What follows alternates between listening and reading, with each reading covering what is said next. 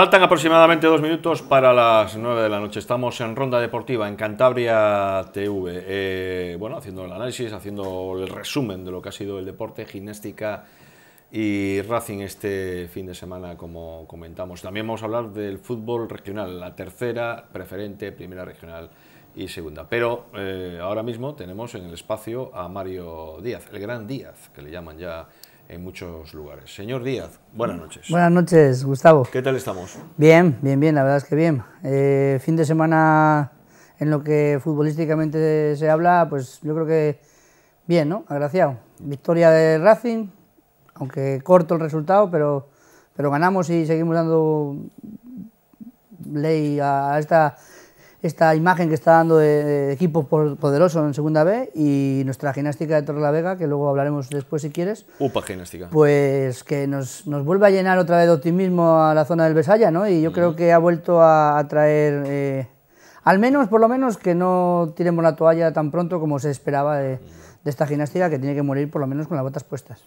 ¿Hablamos de fútbol regional? Sí, señor. Venga, yo creo que ha sido una de las jornadas donde resultados de la zona alta ha habido bastantes sobresaltos. Eh, en, tercera división yo pienso que ya poco a poco se va decantando con esta victoria del Racing y Villa Excusa.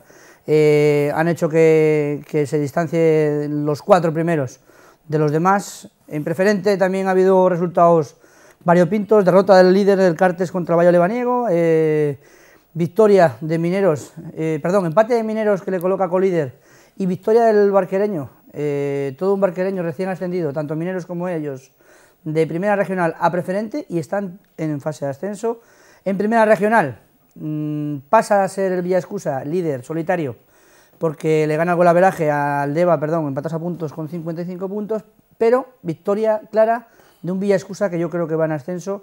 Eh, ha ido pasando eh, a todos los equipos de arriba factura la segunda vuelta, ellos están haciendo una buena segunda vuelta y ganó 3-0 en casa al líder que en esa época era el, Deva. En segunda regional también un partido importante de, la zona alta, en el cual el escudo ganó al Unión Club eh, en Astillero 0-2 y se coloca ahora mismo segundo en segunda regional. Y bueno, pues ha habido un poco de todo. El fútbol femenino, eh, el Monte gana y se coloca ya casi que solventado la papeleta, nuestro ceja, pues que no, puede decir lo mismo y sigue perdiendo. División de honor, mm, diferentes resultados en juveniles. el gran partido que se esperaba en Sardinero, perdón, en el Sardinero no, en las instalaciones, el Racing contra el Celta de Vigo. Eh, el líder de División de Honor, que sigue siendo el Celta, que, que es muy fuerte rival, 1-3, no pudieron los hombres de Pepe Aguilar eh, ese partido solventarle. Y nada, pues hacemos un poco resumen de todo y cómo va la clasificación, si te parece, Gustavo. Usted manda. Pues en segunda B, eh, Amoribeta 1, Logroñés 2, Victoria 2, Guernica 2, Leyoa 2, Oviedo B2, Sporting B1, Durango 2, Bilbao Athletic 2, Arena de Guecho 1, Tudelano 1, Mirandés 1, Real Unión 1 0, Izarra 4, Calahorra 0, Racing 1, Gimnástica de Torre la Vega 1, Real Sociedad B 0 y Langreo 0, Baracaldo 2. Racing, 68 eh, puntos, líder, y yo creo que eh, a, partir de ahora ya se le van a considerar como el favorito al ascenso a Segunda División A. Mirandés, 56 puntos, ahí se van a disputar entre Logroñés, 54 puntos, y Baracaldo, 51 puntos, quien va a ser el siguiente eh, al Racing de Santander. por abajo, pues la gimnástica que nos vuelve a traer ilusiones, optimismo, y se ve todavía mucho más eh, fácil y más factible el, estar ahora mismo en puestos de salvación. Eh, Durango, 23 puntos, último clasificado. Vitoria, eh, anteúltimo, 26 puntos. Gimnástica de Torlavega, tercero por la cola, 27 puntos, pero ya mucho más cerca y mucho más viendo el horizonte mucho más cercano. Guernica, 29 puntos. Real Unión de Irún, que jugaría ahora mismo la permanencia, 31 puntos. Izarra, 31 puntos. Tudelano, 32 puntos, Sporting B 32 puntos y yo metería hasta incluso el Calahorra 34 puntos. Yo creo que estos últimos partidos la gimnástica está recuperando esa ilusión, está haciendo que la gente vuelva a tener esa, esa, esa ansia, esa ansia que teníamos en el malecón de sacar los partidos adelante que no venían y yo creo que el futuro de esta gimnástica de Torrelavega eh, es muy esperanzador, Gustavo. En tercera división, eh, Velarde 4, Sámano 3, Escobedo 8, Rinconeda Polanco 1, Revilla de Camargo 0, Laredo 2, Real Racing de Santander B 3, Bezana 0, Guarnizo 1, Bimenor 2, Torina 5, Naval 0, Cayón 1, Barreda 0, eh, Textil Escudo 1, Tropezón 3, Riamontán al Mar 1, Solares Medio Cudello 1, Siete Villas 1, Albericia 0. Clasificación de tercera división, eh, aunque está muy disputada, yo creo que el Escobedo eh, sigue paso firme en su posición de líder destacado de esta tercera división, yo creo que lleva muchas jornadas ya siendo el líder, pero Laredo que no se resiste, los de Charles que quieren seguir intentando afianzarse en la zona alta y jugar solamente el partido a muerte súbita entre otro primero de otras terceras divisiones. Escobedo, 61 puntos, Laredo, 60 puntos, Tropezón, que ya recupera la zona de fase de ascenso, 57 puntos, eh, Cayón, 57 puntos. Quinto, eh, Racing de Santander B, 55. En descenso, pues eh, Guarnizo, 23 puntos, Rinconeda Polanco, 18 puntos, Naval, 17 puntos. Cuidadito también, Revilla Camargo, 27 puntos. Y el, perdón, Velarde de eh, Camargo y el Revilla de Camargo también, 28 puntos. Preferente, pues Peña Revilla 0, Castro 4, Gama 3, Noja 2, Monte 0, Mineros 0, Cartes 0, Valle Lebaniego 1, Celaya 3, Airón Club 0, Barquereño 2, Ramales 0, Meruelo 1, Colindres 1, Nueva Montaña 3, Los Ríos 2, Santillana 2, Cayón B 1. Líder, aunque pierda eh, el partido este fin de semana, pues nuestro Cartes eh, de la zona de Torre la Vega 52 puntos, Barquereño 52 puntos, Mineros 52 puntos. Fíjate cómo está esta eh, preferente para subir a tercera. Los tres equipos que ahora mismo ascenderían, 52 puntos. Le sigue Colindres, 48 puntos, y Castro, 48 puntos. Descenso, a día de hoy, a Primera Regional, Iron Club de Vargas, 25 puntos, Noja, 24, Cayón B, 20. En Primera Regional, Ampuero 1, Santillana B, 0, Frajanas 3, Santiago Galas 2, Montañas del Paz 2, Calasán 1, Valdáliga 0, Miengo 2, Bimenor B 0, España de Cueto 1, Rocín 3, Minerva 1, Villa Escusa 3, Deva 0, Marina de Cudello 2, Racing de Don, Rayo Santa Cruz A 1, Santoña 2, Río Gándara de Soba 2. Subirían a preferente Villa Escusa 58, Deva 58, Miengo 56. Seguidos muy de cerca, Frajanas 53, Rayo Santa Cruz A 50 y en descenso a segunda regional, Calasán 20, Marina de Cuello 20 y Valdáliga 18. Segunda regional, Jesús del Monte 0, Comillas 0, Nueva Montaña B 2, Iguña 0, Unión Cruz 0, Textil Escudo B 2, San Justo 2, Toranzo 1, Buelna 1, Castro B 0, Laredo B 3, Olimpia 0, descansó el Cubas, Rayo Santa Cruz B 0, San Martín 4, Solares Medio Cuello 5, Liendo 2 y San Román 4, Peña Castillo 0. Líder en solitario eh, en esta segunda regional, con ascenso a primera regional, Solar Medio Cudello B 67, Textil Escudo B 61, Fortuna Camargo 61. Y en descenso, eh, perdón, en descenso no porque ya más abajo de segunda regional no puede haber, Gustavo, Peña Castillo 18, Cualquier día lo San Justo 15 y Cubas 11 puntos. Y esto más o menos ha sido todo, Gustavo. Una pregunta, ¿quién es el que más te ha sorprendido en la tercera división y qué equipo te ha podido decepcionar? La verdad es que a priori el Sete Villas eh, en, presupuesto, jugadores fichados y, yo creo que Ilusión es el equipo que peor lo está llevando este año en tercera división y yo creo que el Bezana, porque el Albericia se ha ido desinflando, el Barrera también se ha ido desinflando, el Bezana yo creo que ha sido el equipo eh, revelación, los de José Monatón que lo están haciendo muy bien. Es verdad que el otro día contra, contra el Racing B tenían una clara opción de si ganaban eh, afianzarse en esa quinta, cuarta posición que les diera todavía pie a soñar eh, cotas más altas como una posible fase de ascenso, yo creo que a día de hoy eh, las cuatro plazas están ocupadas. Racing B no va a dar la, batalla por perdida, eh, pero ya el Bezana se nos queda un poco descolgado. Gustavo. Aclárame ese rumor que hay por esta casa que dicen que estás con negociaciones con la Federación de Fútbol de Armenia para dar los resultados de todas las clasificaciones de todo el fútbol regional en ese país. No, no, no. Nos contentamos con el fútbol cántabro, que yo creo que está en muy buena salud. Poco a poco va cogiendo eh, yo creo que todo lo que es el fútbol regional cántabro, una buena salud. Y, ¿No ves lo que nos agradece la gente? Y es importante después, también me comenta mucha gente por cabezón, ¿no? Que, que no hablamos mucho del fútbol, eh, eh, el juvenil. Sí, sí.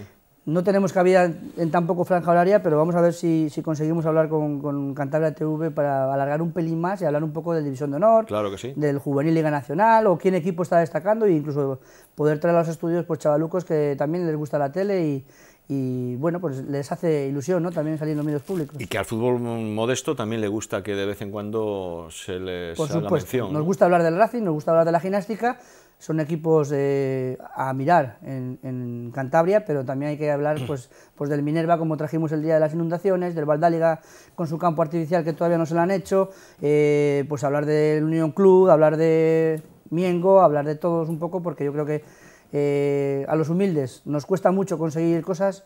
Yo hablo por el Santiago Galas, que también sabes que, estoy metido en el ajo.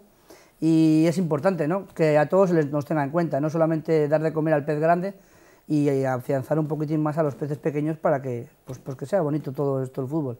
Pues ¿sabes con quién vamos a hablar ahora? Pues, con el hombre de moda en Torrelavega. Pues mira, me alegra, me alegra que me preguntes eso porque yo creo que a día de hoy él, me imagino, no le tengo conocimiento de cómo es él eh, a nivel personal, eh, me imagino que sea modesto y todavía tenga los pies en la tierra, pero yo creo que es el hombre, no de moda, que ha vuelto a traer ilusión a la zona del Besaya, a la gimnástica de Torlavega, y en la cual la gente salía de los campos del malecón cada fin de semana con la cabeza un poco más gacha, y gracias al que tenemos aquí en los estudios, a, a Dani, yo voy a tratar de Dani, de Dani Mori, eh, pues ha vuelto a que los gimnásticos quieran ir el domingo a la Vallada Mirandés, que nos le comemos. El hombre que ha dejado de que la afición se resignara a, ir viendo pues que los resultados no iban saliendo. En cambio ahora mismo ya hay una ilusión, hay entre los aficionados pues unas ganas de ver a la gimnástica y sobre todo de muchísima esperanza. El hombre de Torrelavega, Dani Mori, buenas noches. ¿Qué tal? Buenas noches. Oye, ¿qué tal en Torrelavega? Antes de empezar a hablar de fútbol, ¿qué tal te tratan o te tratamos por aquí? de lujo, muy bien. La verdad que el trato está siendo exquisito desde el primer día hasta hoy, en cada momento, la verdad que muy contento. Vamos a ver, se ponen en contacto contigo, porque has tenido valor. Se ponen en contacto contigo y dicen, oye, gimnástica de Torrelavega. Miras la clasificación, que me imagino que la sabías, y tú dices, para adelante.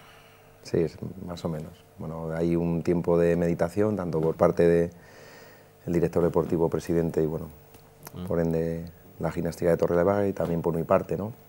Quería estudiar bien, conocer los futbolistas, conocer un poco la situación, entendía de que era una situación difícil, pero veía ese margen de mejora que, que daba pie a tener opciones reales de intentar ayudar a, a la salvación y, y en ese sentido, pues aquí estamos. Lo viste es complicado, pero ahora ya lo ves mucho menos complicado. Es, difícil, es, una situación complicada, pero eh, con el trabajo que, realizan los futbolistas desde el primer día que he llegado aquí, pues te facilita muchísimo todo, ¿no? Entonces te da pie a, a pensar que puedes conseguirlo. Desde el primer día que aterrizamos, eh, la idea era pues, que el futbolista se sintiese importante, que, que viese que realmente es de la categoría y que puede jugarle de tú a tú a cualquier rival y la idea era ir creciendo progresivamente para, para poder conseguirlo. Muy buenas, Dani. Eh, dices de que el futbolista, la primera misión como entrenador en una, en una zona de, de, que los jugadores ahora mismo la cabeza la tenían en otros, en otros momentos de, psicológicamente hundidos, la primera misión tuya, ¿cómo es recuperar esos futbolistas? Porque no es fácil, ¿no? Me imagino que eh, notarías esa sensación de que abatimiento, el jugador que veía que intentaba darlo todo, no llegaban los resultados. Eh, encontraste un vestuario tocado, me imagino, ¿no? Encontré un vestuario que me acogió a la perfección, que tenía ganas de trabajar y de ponerse a trabajar. Y entonces pues yo venía con una motivación increíble, es lo que les quería transmitir y, y ellos me transmitían lo mismo, ¿no? que querían trabajar, vamos a trabajar, vamos a ello, a, situaciones que yo proponía de trabajar más, ellos querían más, a situaciones de que yo proponía trabajar más días, ellos querían trabajar esos días y en ese sentido la disposición de los jugadores es, increíble, entonces eso ayuda. Eh, luego el trabajo que vas haciendo con ellos, sobre todo es darles una dosis de realidad, de que son buenos futbolistas, de que pueden conseguirlo, pero que tiene que haber un trabajo detrás muy fuerte, muy grande y no decaer y en ese sentido ir al día siguiente pues con más fuerza si cabe. Y la pizca de suerte parece que ha llegado también porque es importante, ¿no? En cuanto hablamos de recuperar jugadores porque el trabajo no vamos a decir que lo han, lo han cambiado contigo, con, con, Pablo Lago también los jugadores han rendido a un nivel muy alto, lo que pasa es que no llegan los resultados. Eh, en todo lo que es el fútbol, eh, la, la, pizca de suerte eh, es importante, ¿no? En este sentido, ¿crees que ha cambiado también la sartén? Es decir, ha dado la vuelta a la tortilla. Estamos un poco, minuto 90, marcamos el gol de la victoria. El otro día, jugada importantísima, minuto 87, el gol ese, igual en la primera jornada no entraba y ahora centra Fer y remata Rubén. ¿Crees que ha podido cambiar? La, la, suerte existe, ¿no? Pero yo creo más en ir a buscar la suerte. ¿eh? Si la, te quedas esperando a que venga, muchas veces nadie te regala nada. Entonces, vete tú a por ella y seguramente que tengas más opciones de conseguir esa pizca de suerte. Entonces, el equipo contra el Oviedo lo buscó. Prácticamente le sometimos los últimos 30 minutos en su campo. Así que, en ese sentido, los primeros 70 ellos fueron dominadores del balón, ¿eh? pero luego nosotros dimos el paso adelante mostrando que queríamos esa victoria y, buscando esa suerte. Y luego pues ayer lo mismo, yo creo que el equipo fue valiente, fue hacia arriba y eh, hubo momentos en que tuvimos que sufrir, de que las piernas pesaban, de que los chavales corrían mucho y en ese sentido el equipo se sobrepuso otra vez, volvió a tirar para arriba y volvió en busca de la victoria y buscando esa pizca de suerte que como tú dices que es importante, pero yo creo que el equipo la buscó la busca y yo creo que es a partir de que también eh, la gimnástica se da cuenta de que, de que ha dado un paso más adelante. ¿no? Nosotros igual en la primera vuelta echábamos en cara igual un pelín más, que el equipo estaba demasiado armado atrás sin llegar al área contraria. Entonces es muy difícil ganar un partido si no llegas a, las proximidades del, campo contrario. Sin embargo, yo creo que con tu planteamiento y tu visión del fútbol, no te voy a decir mejor o peor que la de Pablo, pero, pero sí viendo el fútbol de una manera un poquitín que para ganar hay que echarse en el campo contrario, como acabas de decir tú, pues yo creo que en ese sentido los jugadores eh, se han sentido más arropados, se ven que tiene más ocasiones de jugadas de gol, el equipo en sí tiene mucho más la pelota en campo contrario, cosa que antes pues, pues llegaba esporádicamente igual a los delanteros, Primo, Nacho, estaban demasiado eh, aislados. Entonces nosotros eh, echábamos en cara ese paso adelante porque los partidos pasaban factura y veíamos que no, no dábamos un paso adelante, ¿no? Ya no solamente jugando fuera de casa, porque a veces igual hay que amarrar un resultado contra rivales de una liga que igual no son los tuyos, ¿no? Por supuesto. Pero los planteamientos en casa creíamos que, que, estaban siendo un poco demasiado conservadores. Sin embargo, yo creo que tú esa, esa mentalidad de, aparte de que toca porque las jornadas van pasando y si no ganas, pues te ves hundido, pues yo creo que nos has eh, vuelto a, recuperar esa ilusión, ¿no? Ese, ese gente que va al campo deseando animar a la afición, porque también los jugadores han hecho que la afición vuelva a recuperar esa, esa, ese número 12 que siempre se pide, ¿no? Ese, ese gimnástica en la grada que, que al jugador le, le, le, pides un 110 y te lo dan, ¿no? En ese sentido, la, primera idea era de que el equipo realmente pudiese eh, dar un paso al frente, ¿no? dar un paso un poco más hacia adelante, estirar las líneas, eh, no hacer un repliegue sobre nuestra propia portería, sino que mínimo colocarte en bloque medio, eh, a partir de ahí tratar de quitar un futbolista de la línea de atrás y pasarlo a la delantera o bien a la línea de medios, entonces pues que eh, las líneas estuviesen muy juntas y siempre que podamos ir a apretar arriba, pero para eso hay que estar muy bien físicamente, para eso hay que entrenar, hay que trabajar mucho y, el equipo tiene que estar muy solidario en defensa, tiene que trabajar muy fuerte para poder realmente ir ahí porque en segunda B cualquier error te penaliza, hay muchísima velocidad, cuanto más metros estás lejos de, tu portería, más, más eh, dificultades te pueden esos balones largos, con gente rápida, si tú ahí en ese sentido no manejas bien la presión, te salen bien de la presión, buenos lanzadores, buenos golpeadores, y ahí puedes sufrir. Entonces el equipo está trabajando muy serio, muy organizado, que es lo, principal. Basamos la estructura sobre todo en un, trabajo solidario de equipo, que creo que en ese sentido hay una unión grandísima en el vestuario, estamos consiguiéndolo, y a partir de esa solidez, esa solidaridad, eh, puedes dar el paso al frente, si no sería imposible. Luego ya con balón, evidentemente estamos intentando mejorarlo, queremos balón porque también sería una locura tener que estar corriendo detrás del rival todo el día. Necesitamos balón, hay futbolistas con calidad, sabemos y somos conscientes que el tiempo que tenemos es el que tenemos, tenemos que ser prácticos, ir a lo concreto, ir paso a paso, hay momentos en los que eh, tenemos que tener cuatro o cinco cosas y las cuatro o cinco hacerlas bien, porque si te empiezas a meter automatismos de salidas, de no sé qué historia... Tampoco esa es eh, tu base, ¿no? Porque tú vienes, como digamos, a un equipo ya hecho, donde aterrizas y tienes que intentar sacar con lo que tienes eh, el máximo de rendimiento en muy poco tiempo de maniobra. Es decir, no puedes empezar a hacer igual lo que a ti te gustaría realmente en una pretemporada donde puedes tocar y hacer, equilibrar líneas o, o cambiar tácticamente de un partido a otro porque tu filosofía de, juego puede ser otra totalmente diferente a la que estamos viendo o realmente lo que la afición de la gimnástica en Dani Mori está viendo es lo que está planteando la gimnástica. Bueno, yo creo que como en la vida eh, tienes que adaptarte a lo que hay, ¿no? Si tú vienes y con tus ideas y con tu modelo y con tus rollos, pues en ese sentido vas a sufrir. Lo que tienes que hacer es adaptarte a la situación, al medio, a los futbolistas que tienes, al entorno, a, a la categoría, al grupo. En ese sentido, te adaptas, estudias, miras, el, miras a tus propios futbolistas, miras el estadio que tienes, mira la situación como está a nivel de puntos, dónde tienes que arriesgar, porque entonces haces un buen análisis y a partir de ahí actúas. Y el equipo pues ahora está actuando y sacamos rendimiento, tienes que priorizar sobre algunos aspectos que son importantes.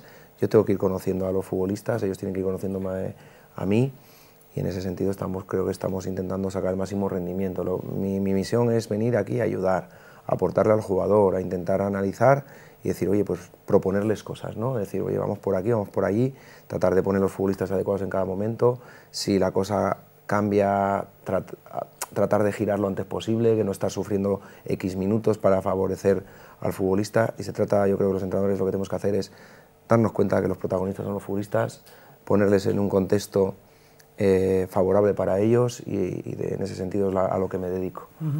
Dani, eh, al lado tuyo está Fernández, no sé si le conoces. Él no me conocerá, pero sí que estuve en la rueda de prensa de la presentación. He estado un sábado viéndolos entrenar porque estábamos con lo del autobús para el viaje a Guernica. Sí, pero antes, antes, de que sigas, Fernández, este señor que tienes a tu lado es de los que más puede saber de la gimnástica. Es decir, lo que no sepa él, no lo sabe nadie de la gimnástica. ¿eh? Perdona, Fernández. No, bueno, le iba a decir que, eh, que el equipo ha evolucionado, eso es una cosa que se palpa y, se ve y se, se, demuestra. Yo he visto los cinco partidos de Dani Mori, ocho puntos de 15 posibles, este es el camino, Dani. Hombre, son buenos, ocho puntos son muy buenos, son muy buenos 27, mejores eran 30. Entonces lo que tenemos que hacer es eh, no conformarnos, pero valorarlo Muchas veces la gente ya tiene la ansia de mirar, venga, y más, y más, y más. Bueno, vamos a valorar lo que estamos haciendo y ver por qué lo estamos haciendo, qué cosas buenas estamos haciendo y qué cosas tenemos que corregir y mejorar. Entonces el equipo no, no va a perder el norte, lo que tiene que hacer es eso. ¿no? Seguimos en puestos de descenso a cuatro puntos y nosotros lo que queremos es salvarnos, no dar buena imagen, no, no, no generar una ilusión que luego se desvanezca. Entonces hay que ir muy serenos, con paso firme y, la idea es eso, es tratar de, crecer, de poder mejorar, de afrontar los partidos con mejores pronósticos de, victoria y entonces es lo que vamos a hacer, vamos a saborear las cosas que hacemos bien, pero con la responsabilidad que tenemos de que la semana siguiente hay que buscar otra vez los tres puntos porque eh, son inminentes. El aspecto psicológico que es tan importante, ya hablaba Mario, la verdad es que desde tu llegada empate en casa con Leyoa, empate en Guernica, así que en la primera parte sufrimos, en la segunda estuvimos más cómodos con el cambio de sistema, eh, victoria contra el Oviedo y luego se trae a, un psicólogo a, eh, a petición tuya. ¿Era tan necesario o es por quemar todas las naves y que toda aportación es bienvenida? bueno, todo lo que nos pueda aportar Manzanares es positivo. No, nos va a restar en absoluto, sino que nos va a hacer sumar muchísimo. Es una persona que me ganó desde el primer momento que la, que la conocí. Tenemos un amigo en común, que es Borja Pando, futbolista mío, al que tengo muchísimo aprecio, tanto como persona como, como futbolista, y nos presentó y entonces eh, nos conocimos, nos caímos bien y queríamos trabajar juntos. Entonces, una persona con, una trayectoria increíble de éxitos y que solo podía hacer que sumar. Entonces él, me dijo que me podía ayudar y yo le pedí ayuda. Entonces en ese sentido perfecto. Danos una primicia, Dani. ¿Has estado reunido con Chalana o hablando con Chalana esta tarde? Sí, correcto. ¿Hay posibilidad de incorporación o haber decidido que, que no? No, bueno, en principio lo que tiene que hacer el club es hablar con el futbolista que se ha lesionado, en este caso local, que el chico eh, ha pasado por un mal momento y nosotros también. Nosotros el deseo era de intentar recuperarle, además ese lunes eh, y, días anteriores habíamos estado hablando con él y él en ese sentido tenía una ilusión por volver, por ayudar al equipo. La implicación que, tiene el chico es increíble y, te da muchísima lástima de que en una acción fortuita de lunes por querer estar para ayudar a la gimnástica, por querer estar para ayudar a sus compañeros, pues se lesiona el cruzado. ¿no? Entonces, ya una vez que se confirma esa lesión, a nivel profesional, yo tengo que hacer mi trabajo, el club tiene que hacer su trabajo, que es evaluar la, plantilla. La plantilla ahora mismo se compone de 19 futbolistas. Hay uno que está lesionado, que es, que es Lucho, a ver si lo recuperamos lo antes posible. Y en ese sentido tenemos cinco futbolistas que tienen cuatro tarjetas amarillas. Eh, los partidos son nueve, eh, no podemos permitirnos ir con una baja, con tres jugadores de, de baja e ir prácticamente con 15, 16. Sí que están aportando los juveniles, que están entrando cada día increíble, pero bueno, tenemos tres fichas libres. Una podemos firmar ahora mismo a cualquier futbolista. Entonces, lo primero que tiene que hacer el club y que iba a hacer Chalana es hablar con el futbolista con local porque tiene que dar el visto bueno y tiene que decir, oye, el club puede utilizar mi ficha, tiene que en ese sentido avalar ese fichaje y, utilizar esa licencia de, local. A partir de ahí, si todo es, es, bueno y encontramos un futbolista que realmente nos pueda aportar y que pueda venir a sumar, ayudar y que venga con muchas ganas de, de jugar en la gimnástica estos meses y tratar de salvar equipo, seguramente que venga. La idea es esa porque eh, también en ese sentido eh, el director deportivo pues, buscará a los futbolistas, explicará la plantilla, los jugadores que están, eh, tienen que estar al corriente de todo, no solo Borja Docal, sino capitanes, todos, todos los movimientos en este sentido están siendo muy, muy claros para todos y cuando llegue el momento, pues si procede, se, informará a la plantilla de la idea que tiene el club y de momento no hay que mirar, es nuestro deber, este es nuestro trabajo, si hay algún futbolista que creamos que pueda aportar, entonces si surge y, sale, entonces se valorará, pero hay posibilidades, claro. Desde luego que uno de, los grandes valores que está teniendo Dani Mori es que tiene a toda la plantilla enchufada, 18 jugadores ahora, 19, eh, bueno, eh, Lucho tocado, pero cada semana están entrando jugadores nuevos, eh, creo que eh, tienen que estar todos preparados y además lo están demostrando. Dos últimas preguntas por mi parte y acabo. ¿Qué es lo que más le ha sorprendido a Dani Mori desde la llegada eh, a Torrelavega? Y si una de las cosas es la afición, ¿cómo lo valora también? Bueno, la afición desde el primer día, ¿no? Ya me fueron informando lo que, lo que era y el primer día para mí fue muy, muy emocionante. Salir a la grada, ver cómo decían tu nombre, gente animando desde el primer momento, nosotros intentamos agradar y el malecón apoyaba claramente. No es, yo soy un tío políticamente correcto, yo digo lo que pienso y en ese sentido así lo siento y mi corazón en ese sentido así lo siente. Eh, lo que más me ha sorprendido claramente es la afición, el malecón, el estadio, las instalaciones, la historia, la gimnástica lo que es el club y el orgullo que, siento de, pertenecer y ojalá, ojalá que pueda ayudar a, que el equipo se mantenga en segunda vez. Y entonces luego a nivel de, actitud eh, de los futbolistas, muy bueno, un vestuario muy sano. Eh, he tenido el placer de entrenar a muchas plantillas senior y en ese sentido esta es una de las plantillas con más respeto, más educación. El vestuario, lo, lo poco que entro allí, pues la verdad que es una gozada, predisposición a trabajar sobre todo, sobre todo eso, la acogida que he tenido y las facilidades que me han dado para poder desarrollar mi trabajo, que es lo que yo quiero.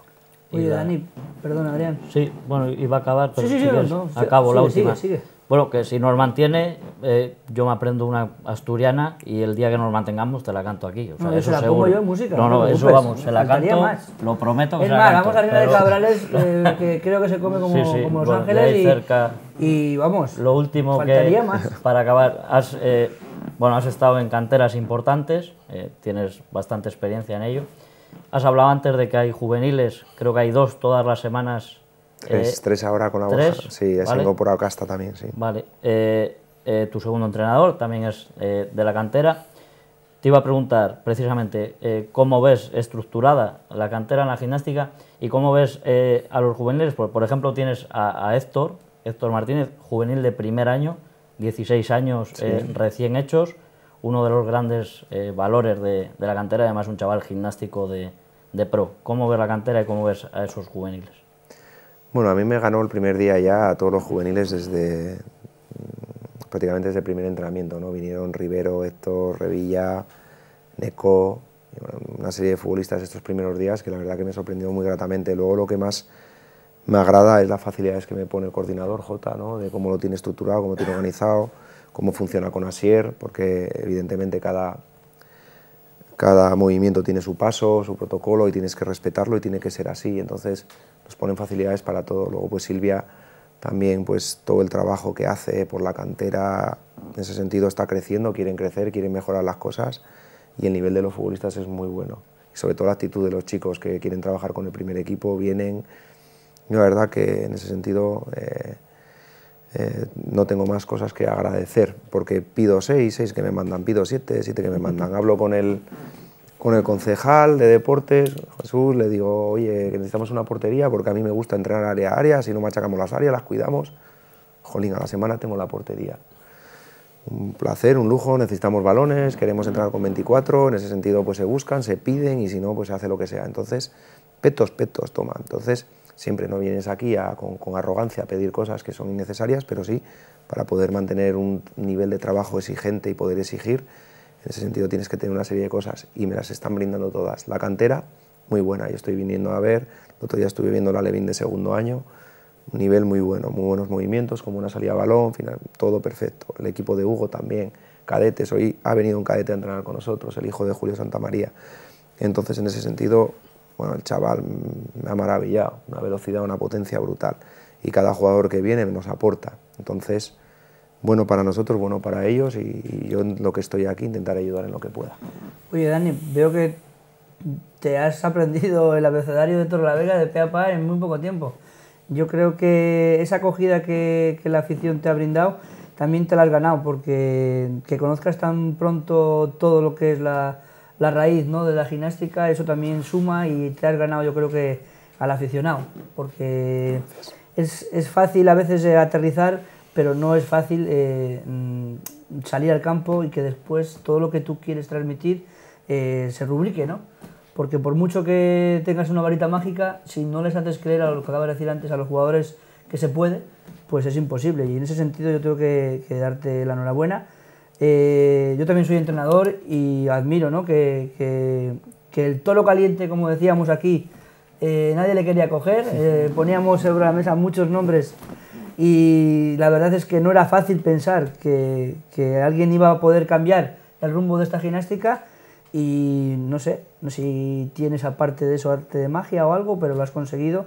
agradecerte que sigas ahí dándolo todo y, y que intentemos este domingo llenar el malecón. Yo desde aquí hago un llamamiento a todos los gimnásticos, aficionados, simpatizantes. El próximo, el próximo. fuera, el siguiente, Perdón, el siguiente, porque esto no es una cosa de, de, medio camino, sino que hemos empezado algo bonito y hay que seguir entre todos eh, empujando a esta gimnástica a salir de, de, ese agujero, que no va a ser fácil porque aunque hemos conseguido 8 puntos de 15, seguimos viendo todavía lo de arriba que nos cuesta llegar. Entonces, los de arriba también eh, van perdiendo, los de abajo siguen agarrándose a la segunda B y esto es una carrera de lo que dices tú, nueve partidos, nueve finales y no solamente jugadores, aficionados, simpatizantes, que todos sintamos que la gimnástica es nuestra y que vayamos al malecón a, darlo todo.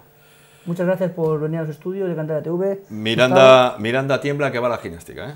Eh, yo solamente decirte, antes cuando empezábamos y ya terminamos, te dejamos que te vayas tranquilamente al principio de la conversación, ¿no? pero ¿qué es lo que puede decirle un entrenador a los jugadores eh, en un vestuario eh, cuando la situación es la que es, la clasificación es, la, que, la que estaba? ¿Qué se le puede decir para que pegues un cambio de, actitud? Mm, no sé, es muy normal todo. Y sí, pero muy normal, pero fíjate el cambio que has pegado. Bueno, pero hay que mantenerlo y hay que seguirlo y hay que trabajarlo y sobre todo esa constancia de, trabajo y lo que simplemente les dije eh, a lo que venía. Y lo que venía era intentar ayudar a salvarnos y que creía en ello, que había analizado al equipo, que les veía con posibilidades y que había que intentarlo, nada más. El resto es trabajo de futbolistas. Gustavo, tú le oyes hablar y te ha convencido lo que ha dicho. Totalmente. A mí también. Y yo creo que a los jugadores, en el momento que Dani les ha hablado tal y como es aquí, creo que les ha, les ha ganado. Y en ese sentido yo creo que te veo un tío transparente eh, y vas a conseguir que esta gimnástica se mantenga, y deseo de corazón, que tanto tú como Chalana, que yo creo que también ha sudado mucho, mucho pensando quién era el ideal, eh, salgamos a flote todos juntos y, nos salvemos. Ojalá que sí. Si decía antes que el nombre de moda era, era Dani Mori, también las patatas bayucas, las mejores patatas de Terrible. Que a Dani se va a llevar una bolsita de estas con las mejores patatas, el mejor aceite, hecho artesanalmente, y esto es una auténtica delicia. Te has portado bien, ¿eh? Te estás portando excepcional. Y la acompañamos con una sidra somarroza, que no es como la asturiana, pero que es de aquí, pura, con los, los, los, limones de Novales. Eso es. Mi abuela, Dani, con 95 años, es que es increíble. Una salud, una vitalidad. Esta sidra, hecha aquí en Cantabria, eh, artesanal, 100%. No tiene nada que envidiar a, las Asturias. ¿eh? no veas la cantidad de premios que gana sí, sí. Así que nada, mucha suerte, Dani, encantado que vaya todo bien y a por esas nuevas finales. ¿eh? Dani, suerte y, enhorabuena por la ilusión que has traído a Torralga. ¿vale? Muchas gracias a vosotros por la invitación. Bien, nos vamos a la publicidad y vamos a hablar un poquito más de lo que fue el partido de la gimnástica y, cómo no, tocaremos un poco al Racing. Venga, venimos ahora en unos segundos.